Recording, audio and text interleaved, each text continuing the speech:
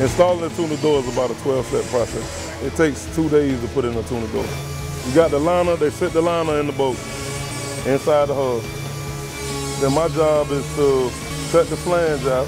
I got to grind it down and glass it to make it look like all one piece.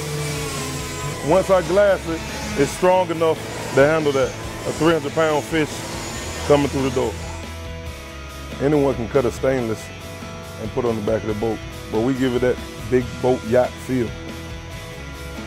I spent two days on this door, so when you fishing and pull in a big tuna, you can be stoked for the strength and the quality. That's what we are. it's next level. This is a different kind of place to build boats because it's great people, great boats, and I just I'm happy to be a part of it.